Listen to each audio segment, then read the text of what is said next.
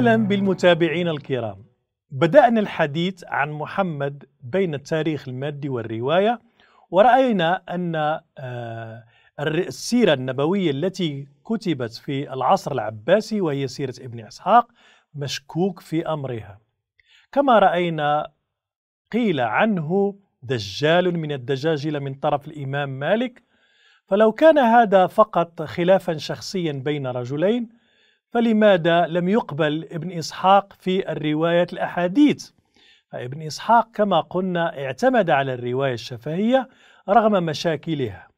وعلى النص القرآني رغم أن محمد ليس هو بطل هذا النص آه، آه، لذكره أربع مرات دون تفاصيل ولا حتى معرفة من هو. آل عمران 144 الأحزاب 40 محمد 2 الفتح 29 بخلاف شخصية موسى أو إبراهيم الخليل فرأينا أن أول آية في سورة الإسراء لا تتحدث عن محمد بن عبد الله كما يعتقد المسلمون.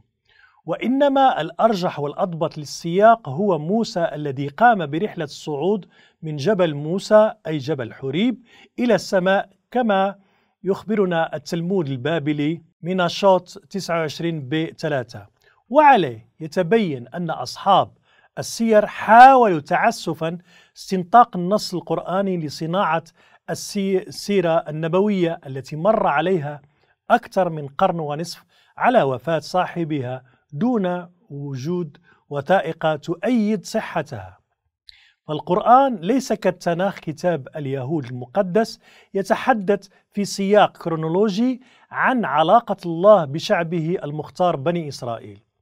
وليس كالأناجيل المقدسة عند المسيحيين التي تتحدث عن بشارة مجيء المخلص يسوع المسيح عيسى بن مريم بحسب القرآن حياته ومعجزاته ورسالته الإلهية. فالقرآن لا يتحدث عن حياة محمد بن عبد الله وحياته الشخصية وكل الآيات التي قيل عنها بأنها تتحدث عن محمد فلا تعطينا بدقة وبوضوح أخبارا عن حياته الشخصية. كل ما قيل فقط تخمين ليس لها ما يؤيدها في التاريخ المادي والوثائق التاريخية التي ترجع لعصره.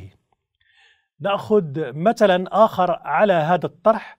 جعل محمد بن عبد الله بطل لمعركة آه، حدثت في الماضي البعيد على سبيل المثال جاء في سورة الأنفال الآية 41 واعلموا أن ما غنمتم من شيء فأن لله خمسه ولرسوله ولذي القربى واليتامى والمساكين وابن السبيل إن كنتم آمنتم بالله وما أنزلنا على عبدنا يوم الفرقان يوم التقى الجمعان والله على كل شيء قدير. فهذه الآية دون شك عند فقهاء الإسلام تتحدث عن الغنائم التي غنمها الرسول محمد وأتباعه في حروبهم ضد أعدائهم، والخمس هو لله والرسول ولذي القربى واليتامى وابن السبيل، لكن هناك إشارة لشخص نعته النص القرآني بعبدنا وبالطبع بالنسبة لفقهاء الإسلام فعبدنا هذا هو محمد بن عبد الله كما رأينا في تفسيرهم لكلمة بعبده في أول آية من سورة الإسراء الحلقة الماضية. فالإشارة حسب السياق هو موسى وليس محمد. والسؤال مطروح هل يمكن أن يكون عبدنا في سورة الأنفال إشارة مرة أخرى لموسى؟ هناك عبارتين أساسيتين تصف يوم هذه المعركة وهي يوم الفرقان وكذلك يوم التقى الجمعان. التعبيرين فعلا يوافقان الحديث عن موسى وذلك في سورة البقرة الآية 53 وإذ آتينا موسى الكتاب والفرقان لعلكم تهتدون.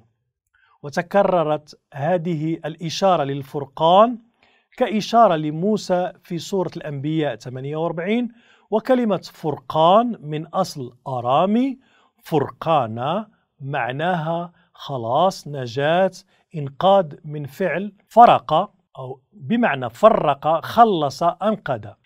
إذا يوم الفرقان يوم الخلاص والنجاة. هناك من يعترض على هذا الطرح بالقول أن بداية الآية فيها خطاب مباشر للمسلمين في الكلمة غنمتم ولا دخل لبني إسرائيل في الآية. الجواب موجود في سورة البقرة مرة أخرى في الآية 50 وإذ فرقنا بكم البحر فأنجيناكم وأغرقنا آل فرعون وأنتم تنظرون.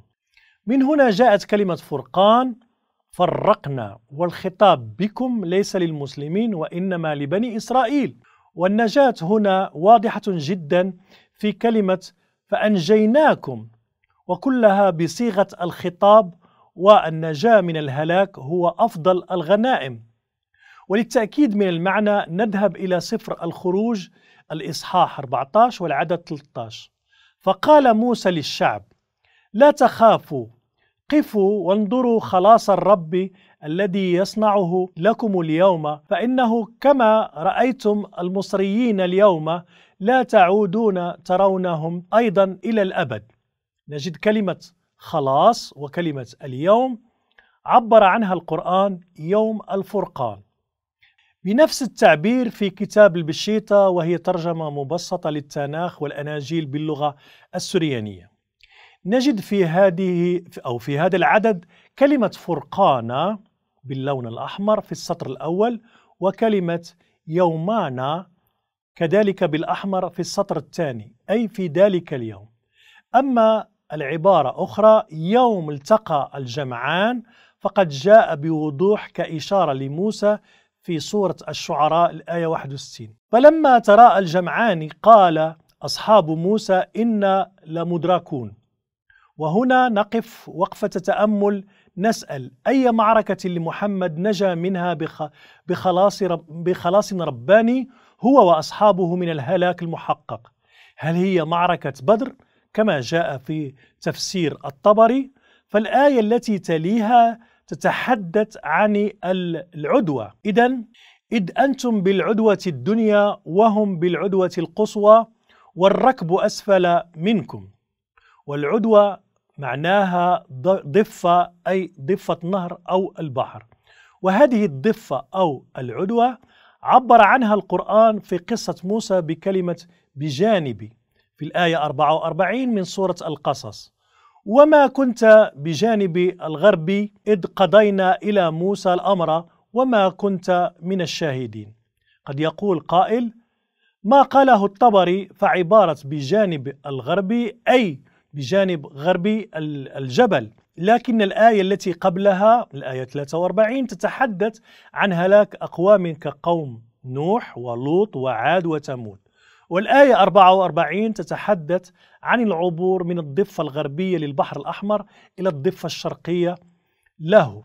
ثم تأتي الآية 46 لتبين أخيرا صعود موسى للجبل بقوله وما كنت بجانب الطور إذ نادينا ولكن رحمة من ربك لتنذر قوما ما آتاهم من نذير من قبلك لعلهم يتذكرون. إذا بطل معجزة عبور البحر الأحمر مع بني إسرائيل هو موسى وليس محمد بن عبد الله لأنه فقط نذير جاء لينذر قومه العرب بلسان عربي مبين.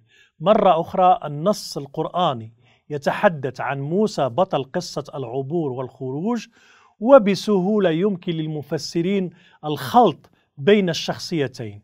والسؤال المهم الآن من هو محمد في القرآن؟ للرد على هذا السؤال ترقبونا في الحلقة المقبلة وإلى اللقاء